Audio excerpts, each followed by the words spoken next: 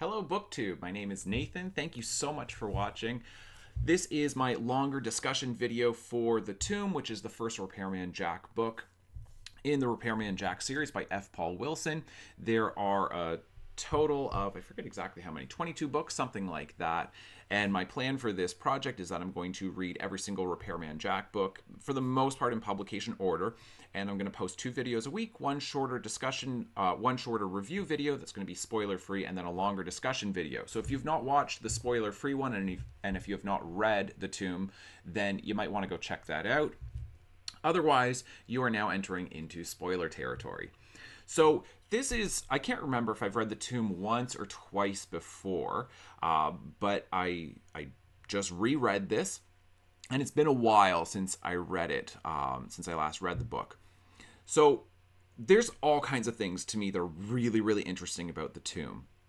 For one thing, it's an interesting place to start the series because Jack is already a well established figure by this point. He's got his re- repair business going, right? The repairman Jack business. It's well established. He's got his connections in the city. You know, he's got his connection with Abe Grossman and I forget the the guy's name who does the fake IDs for him and he's you can see that he's already accomplished a fair bit and he's got his apartment. He has got his tactics, his strategies figured out of what his role is, what his identity is as Repairman Jack. The other thing, too, is that he's already met Gia at this point in the series.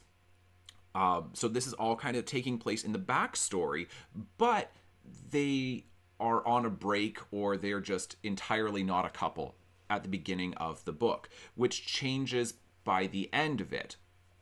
So like I say, it's an interesting place to start because it's not an origin story. So the first Repairman Jack book is not saying, here are the origins of Repairman Jack, although you do get that a little bit with what happens to his mother.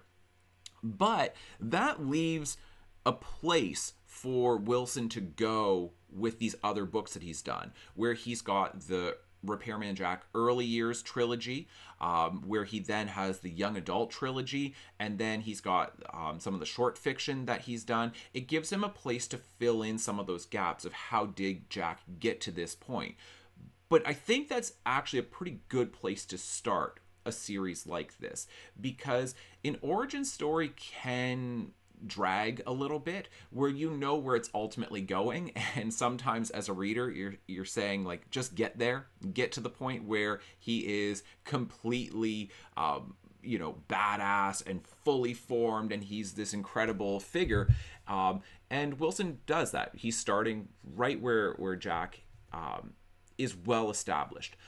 But and and this is the really interesting thing. So he doesn't actually have the reason why the tomb is starting where it does to me is because before this jack was just an urban mercenary and that he wasn't really participating in this cosmic struggle for earth that he had never experienced anything really supernatural up to this point. You do get a couple references to his youth in the pine barrens and things like that but for the most part then he's only dealing with real world events.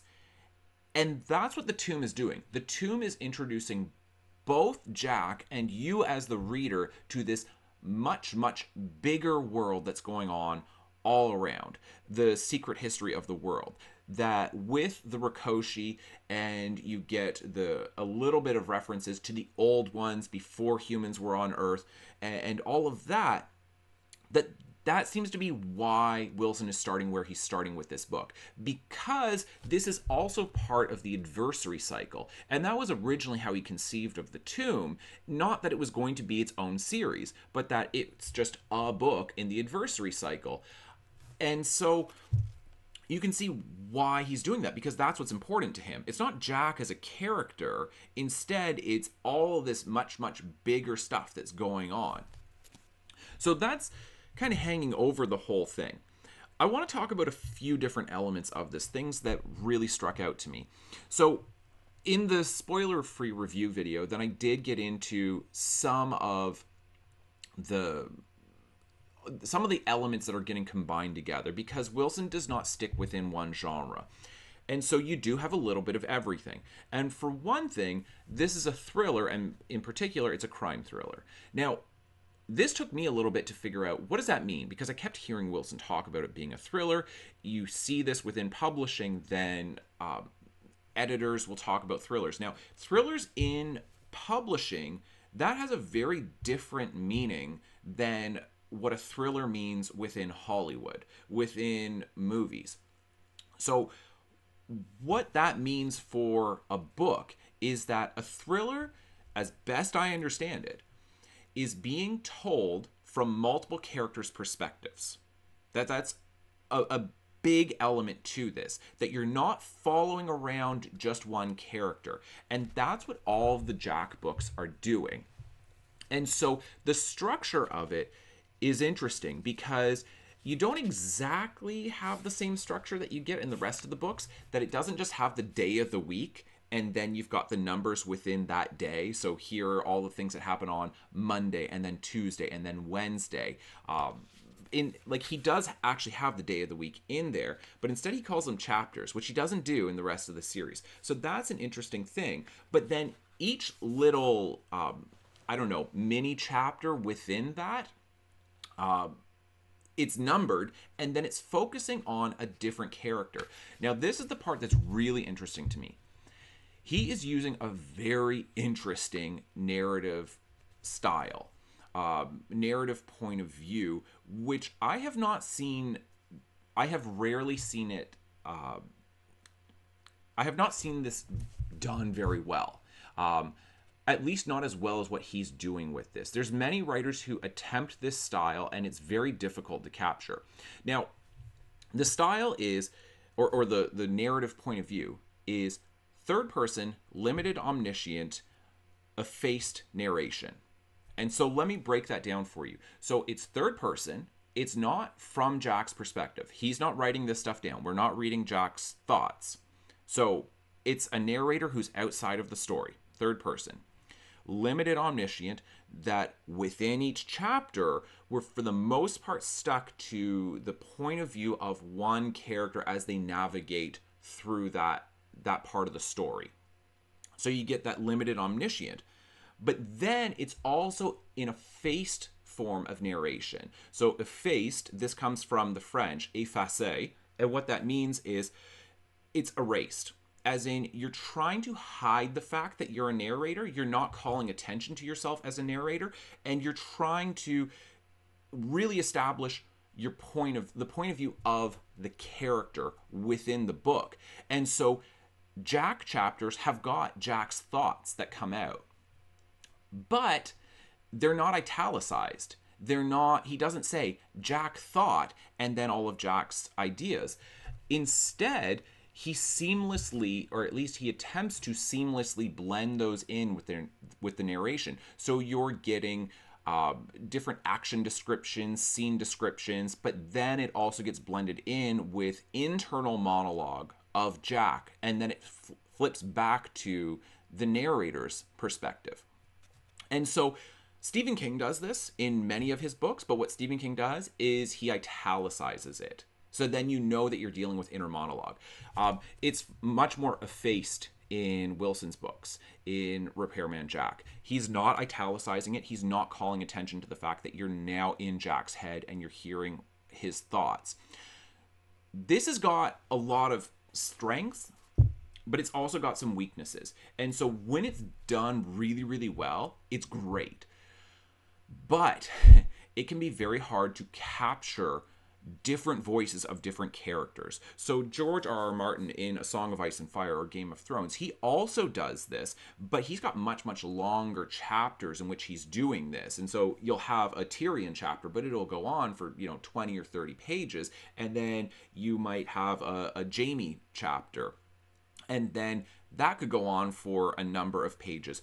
F. Paul Wilson is really quickly switching between them. You're talking anywhere from two to maybe five, six, seven pages, and then you switch, and now you're following a different character's point of view.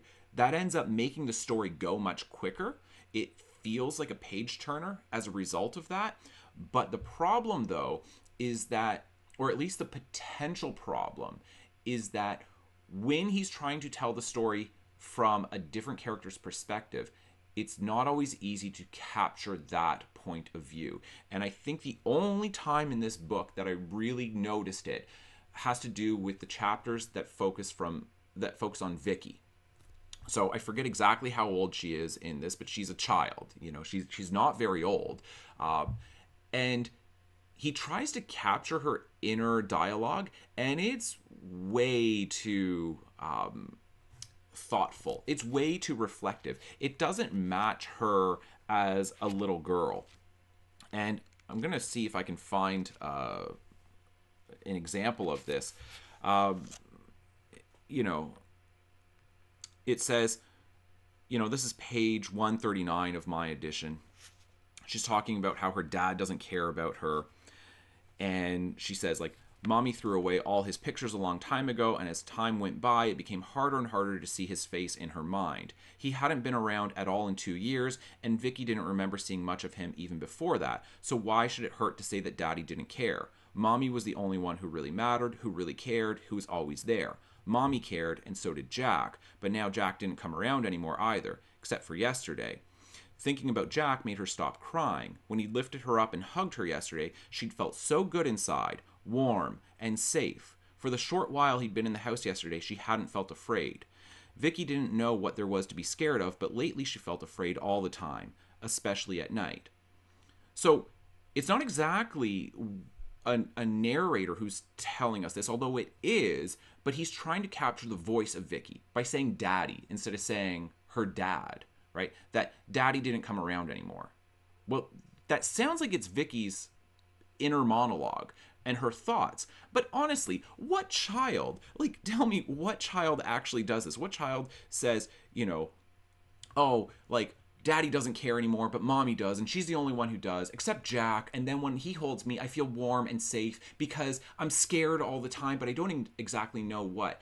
That is really complex introspection that I do not think a small child is doing a small child might be feeling those things, but not thinking those things. And so that's where I think it actually would have been better if he wasn't trying to do the effaced narration to get into her perspective.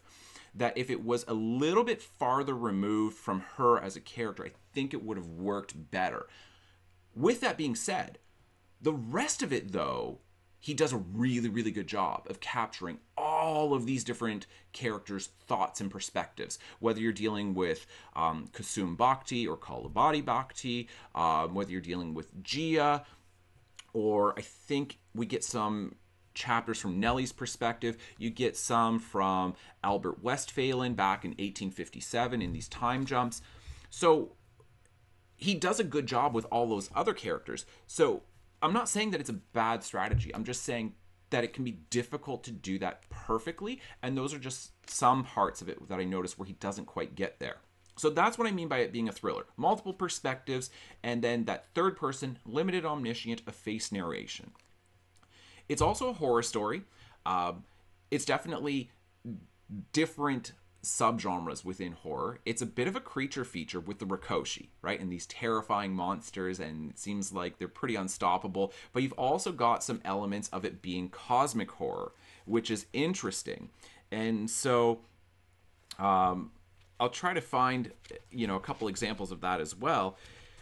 I mean, you have the one where um, this is Jack and he sees all the Rakoshi in the iron hold of the freighter that Kusum has. And Jack, um, this is from his perspective. It says, beneath the shock and revulsion that numbered his that numbed his mind and froze his body, Jack felt a fierce, instinctive hatred of these things, a sub-rational reaction, like the loathing of a mongoose must feel toward a cobra, instantaneous enmity Something in the most remote and primitive corner of his humanity recognized these creatures and knew there could be no truce, no coexistence with them. Yet this inexplicable reaction was overwhelmed by horrid fascination with what he saw. And then it, continues on with that. But um, you've got this idea that there is something so deep and profoundly wrong with these creatures that it is speaking to this instinctive fear that humans have for them, this revulsion towards them. So you get an element of that. You also get an element of that when you're dealing with um, Albert Westphalen and when he's looking at the temple. And so this is um, going back in that that time jump back to 1857 in Bengal, India. Westphalen wondered how, short of a daguerreotype, um, that's like early forms of photography, he would ever do justice to any description of the temple in the hills. It was simply alien. It looked it looked as if someone had driven a spike through an ornate block of licorice and left it out in the sun to melt. And then it continues on. But this is Lovecraftian in a sense. It's not exactly Lovecraftian, but to conjure up what I'm trying to get at here, uh, Lovecraft is doing, like, was writing cosmic horror. And cosmic horror is basically the idea that there are such massive, terrifying forces that exist in the universe that it would drive you mad. It, it would drive rationality from your mind, that to even glimpse them it will end up meaning the loss of your sanity. That those things are all around us, but luckily we are shielded from them for the most part. And this is a big thing that comes up within the Secret History of the World, the Adversary Cycle, and within the Repairman Jack books. This idea that there are forces so much bigger than us that are going on all around and that they are very, very difficult to describe. And that's a that's an interesting thing to introduce in the series but it's it's good to point out that that actually is happening very early on. So you've got horror creature features and you've got some cosmic horror there. You've also got um, an element of conspiracies that comes up because that's of course a big part of wilson's work especially with the secret history of the world that there's a whole bunch going on uh, that we're just unaware of. And he seems to really enjoy conspiracies um, where you end up getting a book literally called Conspiracies, which has to do with a conspiracy convention. That is uh, book three, book three in the series. So the one that you get in this is that you find out that Kusum, uh, he is behind the death of Gandhi, and that he's got this plan to reunite all of of India back together, um, like India and Pakistan, and all of that, and bring it back together as one nation. So you get this conspiracy that's going on you have a fair bit of action. Jack being this this urban mercenary um, that he's doing a fair bit. That he is an action hero, but as as Wilson points out, he is always working in the interstices of society that he doesn't have a whole big team helping him he's not relying on law enforcement and in fact he has to hide from law enforcement but he also has to hide from the bad guys um, that he's trying to to do all of this stuff but he's trying to do it in a covert way constantly and that he doesn't have all the benefits that come alongside that but you do have his relationship with all these other people in the underground including abe grossman who has got um, Isher Sports Shop, and so where he sells weapons um, behind that, or I think it's in the basement of it. Now, one of the interesting things, and I'm going to do a separate video on this, and Wilson does point this out very directly that Abe's shop, Isher Sports Shop, is a reference to the weapon shop of Isher, which is a science fiction story by A.E. von Vogue. Um, I know that I've got it in here. Um, so I've read it before, and I've even had some students read it. Um, some some upper level high school students read it and I got them to do a, a short seminar on it because it's a really really interesting short story but I haven't read it in a long time and I don't know if I actually associated that with Abe's weapon shop either so I will do a separate video on that. It'll be basically a bonus video in the series. But if you didn't know that, then the, we- the Weapon Shop of Isher, uh, written by A.E. von Vogt, V O G T. Uh, I'm pretty sure it's pronounced Vogue and that was published in 1951. So I'll see what comes out of that as I read it. So you get Abe in there, where you have the help. Um, it's also a bit of a supernatural mystery that you're trying to find out what's going on. That you've got all of this backstory that that's happening. That you don't know why the why Grace and then Nellie get kidnapped and then killed. What's going on with Richard Westphalen? And then that Kusum he's going after Vicky. So those are all really interesting things because you're you're reading this to try to find out what's going on. The part for me that's so interesting about that is that you're really seeing how Jack even though he so desperately wants autonomy that he wants to be his own figure and he doesn't want to be known by anybody the crazy part of this, and it's the great irony of the series, and, and Wilson has said this, like in those terms, he calls it the great irony of the series, is that because of who Jack is, he actually gets attention on a cosmic scale is now being drawn to him. That because of what he's doing as Repairman Jack, he's able to stay under the radar of the US government, of law enforcement, officialdom in general. But at the same time, he's actually now captured the attention of forces that are so much bigger than the US government. Forces that are so much bigger than something like having a social security number or, you know, registering, like uh, filing taxes with the IRS or having official identity or anything like that. That he's actually now part of this thing that is much, much bigger than himself. Now, that's to me, that's an interesting part of this. And the way that this comes up in the tomb is that you see that he now, this is his first encounter with the supernatural. And so this is Jack's first time realizing that there is stuff in this world that cannot be explained, that there are supernatural figures out there that it, he is not just dealing with the the reality is much more complex than he thought and there's actually a whole bunch more behind the appearance of reality. And that's an interesting place like i say to start the series. Uh, i'm trying to think of what else i wanted to say with this. One of the things and this is taking a fairly complex um, approach to the tomb.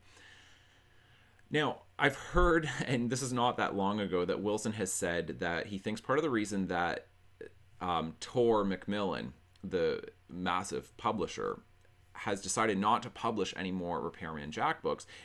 He explained it in his Facebook post, but he outlined a whole bunch of different reasons for this. But part of it seems to be because at least he's theorizing Jack is not very woke. Okay. And what he means by this, I'm sure, I don't think I'm reading too much into this, is that Jack, being a libertarian, is not a far left wing, um, progressive, politically minded person. That he doesn't care for identity politics because he's actually the antithesis of identity politics. He doesn't want to be associated with any one group whatsoever. So Jack is definitely not a woke figure, and it sure seems, and I don't think I'm, I'm, reading too much into this, but basically within the text itself, then you don't get that kind of perspective in the text. And what I mean by this is that it has to do with the depiction of Kusum Bakhti and Kolabati Bakhti, the the twins. Are, are they twins or and in any case, their brother and sister, that if you're applying the literary theory that Edward Said came up with of Orientalism and how do we describe ethnic others or others in general? And how has this historically been done within literature, within storytelling in general? And that we tend to, writers have tended to associate really foreign traits to foreigners that it, it all ends up being this strange otherness. And you get some of this with Kusum and Kolabati that you're dealing with they are they're keepers of the Rakoshi and they're part of this group whose job has been for thousands and thousands of years to somehow manage these supernatural creatures but he also does a very good job because he basically he's put in this position where Jack and Kolabati, they've got this relationship and he's very attracted to her, but he's also got this interest in Gia at the same time. And so, what do you do? Because you got the necklace, Kolabati ultimately wants Jack to be with her when Kusum ends up dying at the end of the book, then she's saying, Good, now you can wear the necklace and we can essentially be immortal together or at least live a very, very long life together. And uh, I can take you on as a lover. But you don't want to have that. Like, I don't think that this is where, this obviously is not where the series is going. I'm trying to think of how Wilson is conceptualizing of the series. But basically, you have to dispense with Kolabati. Well, how do you do this? Well, you make her gross, you make her monstrous, you make her an other.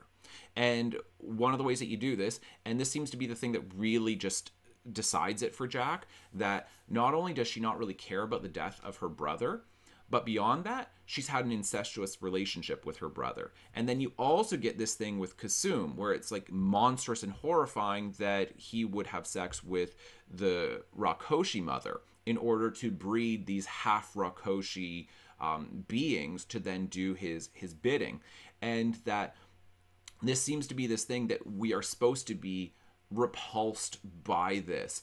And it's just it's an interesting uh, this is not a criticism. It's not saying like this is bad uh, that wilson is doing this. It's just it's very interesting the way these people who are the keepers of the rakoshi how they get painted in this really monstrous um, depiction through those things, uh, certainly through their bizarre sexual practices. Um, so that's that's just something to, to think about, and you can feel free to comment on that below. But like I say, Edward Said, that's S A I D. It's a very, very famous literary theory, Orientalism, um, and how ethnic others get depicted in literature. So there's that. The other thing that I wanted to point out that I think is a bit of a weakness in the tomb is the way Jack and Kusum are very overtly we are told we are not really shown this we're just told this that they are so identical. They have got the they're the same people. They have the the same outlook or worldview. And i really don't see that. I know that wilson is insisting upon this but it doesn't seem to be the same thing whatsoever. Jack absolutely believes in justice. He absolutely um, has got this darkness in him, which shows up multiple times. I mean, this is page 384 where Gia sees Jack, and this is where the darkness takes over him, that violent streak that he's got within him. And it says, She was looking at murder as if death itself had taken human form. That look on Jack's face, she turned away. She couldn't bear it. More rage and fury than any man was meant to hold were concentrated in his eyes. She could almost imagine someone's heart stopping just from looking into those eyes.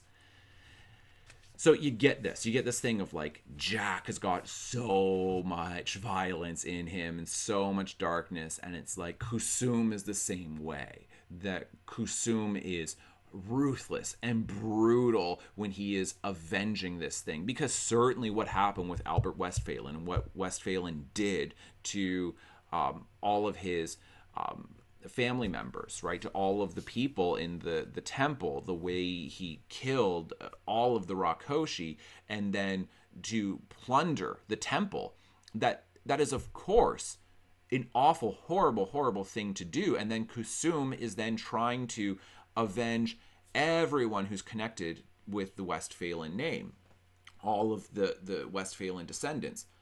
But that's not Jack. Jack wouldn't do that. I mean, the, the description of Jack, and it's a really, I think it's a great description of him, is that he describes this to Gia very early on um, she says, Then you're nothing but a hired thug. This is when she finds out that he's Repairman Jack. He reddened. I work on my own terms, exclusively, and I don't do anything to anybody that they haven't already done to somebody else. I was going to tell you when I thought, and then she continues on, you know, but you hurt people. But this is the important point here is that he doesn't do anything to anybody that they haven't already done to someone else. That Nellie and Grace Westphalen, Vicky Westphalen, um, even Richard Westphalen, who's not a great guy, but he's certainly not a murderer, that none of them deserve to be murdered. So Jack and Kusum are not the same, and I don't, I do not understand what that is. If that is if that's Wilson as a writer, as the narrator, I mean, maybe not him as a writer, but as the narrator of Repairman Jack, is the narrator trying to say that they are the same, or is this really just coming from Kusum and from Kolabati? Um, but in any case, it's not true. They're not similar, um, aside from like a very superficial element of they both believe in, you know, revenge and brutal violence um, at times. But I think that's basically where it ends. Okay, the last aspect that I really wanted to get into, you do get the the history of how Jack becomes Repairman Jack, and uh, a quick reminder here. Basically, you've got this guy um, Ed, who's this younger guy who seems to be a bit of a, a psychopath who really enjoys throwing things off of a freeway overpass onto the cars below and that he's you know of course works his way up to bigger and bigger things. He then throws the cinder block. It goes through the windshield of the of the car that like jack was in with his mother in the front seat and the passenger seat and his dad's driving. Lands in his mother's lap. She dies. The police can do nothing. It's just it there doesn't even seem seem to be an attempt. Um, that's an interesting thing. It's like it seems like they don't even really investigate. They're like, ah, we can't possibly figure this out. And I'm like, I think they would have done a better job of investigating than just immediately saying like, ah, it could have been anybody. We're not going to be able to figure this out. But I do see what where Jack is coming from. That he's saying, well, for one thing, they would have a very hard time finding him. Even if they were trying very hard, they would have a difficult time finding him. Um, but then beyond that, Jack in general and the entire Repairman Jack series, what it's doing is it's such an interesting thing. It is pointing out all of the gaps in the justice system, saying that the justice system fails in this way, in this way, in this way. Whether you're talking about law enforcement, whether you're talking about the court system, whether you're talking about the prison system, all of these um, different aspects of the justice system in general have huge gaps. And Jack exists because there are gaps in the system. This is certainly a libertarian argument where it's pointing out the the incompetence of bureaucracy that there's a certain amount that the bigger government becomes the more corruption there is, the more duplication there is, the more things that end up falling through the cracks. Ironically, right? That you would think that as it gets bigger, that there would be more ways that they could capture people and that justice could be exacted. But instead, it seems to be no, it just ends up creating more problems than it solves, and that it is su- there's such a simple solution to solving things like this. And the simple solution is an urban mercenary like Jack, who really does exist in those places where the justice system just can't go. And so that's the origin of him. Um, this is going back to when he was a teenager. Now he ends up murdering. Um, I, mean, depending on how you view this, but he ends up killing Ed. Uh, in a way that seems, you know, fairly um, fitting with how he ends up killing Jack's mother. That you know he ties the rope around his legs and then he he drops him from the overpass and then he's just you know hitting against the the tractor trailers as they go underneath. And so afterwards, Jack can't come back from this. Even if he wants to come back from this, he just doesn't seem to know how to do so. So this is page 240, and I think that it's worth going over this section because this is really the origin of him. Jack returned to Rutgers, but college no longer seemed to make any sense. He could sit and laugh and drink with his friends, but he no longer felt a part of them. He was one step removed. He could still see and hear them, but could no longer touch them, as if a glass wall had risen between him and everyone he thought he knew. He searched for a way to make some sense of it all. He went through the existentialist canon, devouring Camus and Sartre and Kierkegaard. Camus seemed to know the questions Jack was asking, but he gave no answers. Jack started flunking courses. He drifted away from his friends. Finally, he saw no point in continuing the charade. He took all his savings and disappeared without telling anyone, including his family, especially his family, where he was going. He moved to New York, where he took odd jobs to survive and made contacts, starting getting fix it work with a gradually escalating level of danger and violence. He learned how to pick locks and pick the right gun and ammo for any given situation, how to break into a house and break an arm. He'd been there ever since.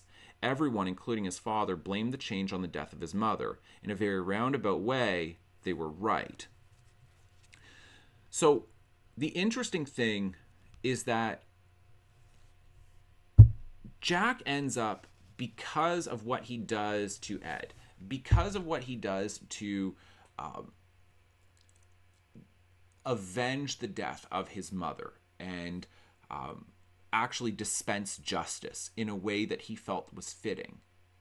It is, he has essentially crossed this line. He's now entered a realm in which he doesn't seem to find any way to come back. And that's where this is a theme that comes up throughout the series. Gia exists within the ordinary world, uh, the world of officialdom, of, of uh, the traditional world. And Jack is existing literally in the underworld. Um, I mean, maybe not literally, but figuratively in the underworld of the the city. That he is doing everything under the radar, under the law, um, existing within the black market. And she's constantly trying to pull him back into the ordinary world. And I'm using this language intentionally because if you understand the principles of that um, Joseph Campbell outlines in the hero's journey, then basically he explains it as being a circle. That you know, typically what you get in the hero's journey is you have the beginning in the ordinary world, the descent into the underworld, and then the ascension back into the ordinary world, but with boons, with gifts as a result of it that you gain, like you become richer for the experience, and that you're able to then help the people in the ordinary world. And Jack, like Gia is constantly trying to pull him back up into the ordinary world, and Jack just wants to stay down here. And it's an interesting question of why he doesn't feel like he can come back from this. Um, and that, that's a question that I think I want to explore as I continue going through these books is thinking about that of why is it that you know this one thing happened like would jack have been repairman jack if it weren't for the death of his mother? And because this seems to this chapter especially seems to indicate that no he never would have become repairman jack. He would have had an ordinary life if it weren't for the death of his mother. But i don't know if that's actually a consistent thought throughout the series because it also seems to suggest that jack he's got this um, resistance to tradition. He has got this obsession with autonomy, with being free, with having his own personal liberty and not getting sucked into something that he doesn't want to be a part of. That he's such an individual that he just can't, he would never be in the real world. And so it's hard to square those things. I think I'm I'm when I end up getting into the young adult series, then I'm really curious to see how that ends up getting explored. So if you've got thoughts on that, on would Repairman Jack have become Repairman Jack if it were not for the death of his mother? Because that seems to be the, the point of that chapter. That seems to be what Jack thinks that because of the death of his mother, he becomes something else. He can never be a part of society again, um, even if he wanted to be. And I'm curious about that. Is that is that exactly true, or would he have somehow ended up being Repairman Jack to some degree or another, even if his mother didn't die, because all of those traits within him were already there, or were they actually generated with the death of his mother and with the killing of Ed? Is is that where they got their origin, or was that their uh, was that in him to begin with, uh, prior to that? So those are some of my thoughts on the tomb. I've got lots more that I could talk about, but I'm sure that's uh, plenty. And like I say, feel free to comment below on your thoughts about this um, and any other points that points of interest that you might have about it. And then the next book is Legacies. So I'm going to post the short spoiler-free review of Legacies tomorrow. And then the longer discussion video of it will get posted uh, the following Thursday. So next Thursday. All right. Thank you so much for watching. Bye.